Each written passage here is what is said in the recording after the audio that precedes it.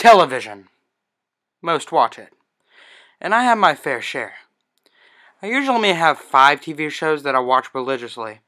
Sure, I watch many more, but I don't watch or keep up with them as well as I do with my top five.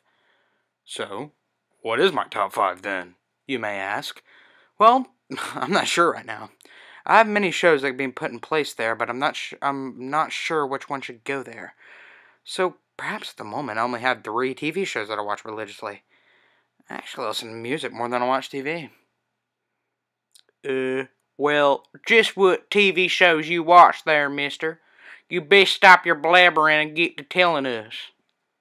Have some patience, I'll tell you. Jeez. So, unlike most top whatever lists, I will start from my number one favorite first. Now, why in tarnation would you do that? Can you just go back to school and shut up? Well, excuse me, just trying to make your crappy content somewhat entertaining. Yeah, you're not helping. Anyways, let's point out the obvious. What I may say next may shock some of you. Alright? Are you ready? My favorite TV show is Doctor Who. What? I know, right? I bet none of you even consider that. The hints are very subtle on my channel. I mean, there's only 140 episodes of a series called Doctor Mew that I made. Very subtle, right? Sar- sarcasm aside, Doctor Who is a great show. Now, why is Dad? Some of you may not know this, but I am absolutely fascinated in the Titanic. At the at the time I discovered Doctor Who, I was obsessed with the Titanic. I'm not even kidding. I was freaking obsessed. I literally read the entire Wikipedia article on the Titanic in one sitting. And I'm not even kidding.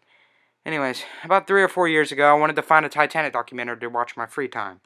So there I was, searching for Titanic documentaries, and I stumbled upon something interesting Voyage of the Damned.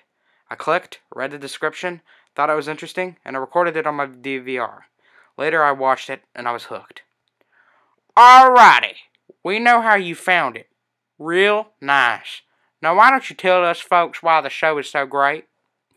The creative concept, the sublime writing, the time travel, the space travel, the aliens. What more is it to say?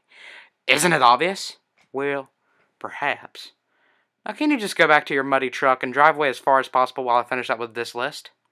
Fine. Anywho, where was I? Oh, that's right, number two. This one isn't as obvious as number one, but it won't be that much of a shocker because I have made videos of this show in the past.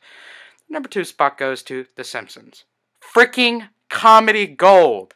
Every time I watch this show, always crack up laughing at least once. Clever, hilarious writing. Funny, likable characters. Good animation. Great show. While it may not be in its golden years anymore, I still think The Simpsons is a great show now. I'll have to disagree with the people who say that the show has gone completely bad. In my opinion, it's still a great show. That's that.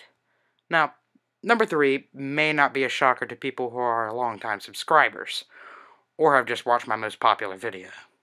Number three spot goes to SpongeBob SquarePants. Look, I'm still in my childhood, but I think I should just say it. This show is literally my childhood. I have been watching this show since I was born and still enjoy it. Like The Simpsons, it is past its golden years, but unlike other people, I still think SpongeBob is funny now. Might just be nostalgia goggles, but probably not. Give the show a watch. Always makes me laugh. That's all. There are my top five, three, top, the top three favorite TV shows. This will probably change in the future, but maybe not. Anyways, leave your opinions in the comments below. Just don't be a butthole. See you next video, guys. Bye.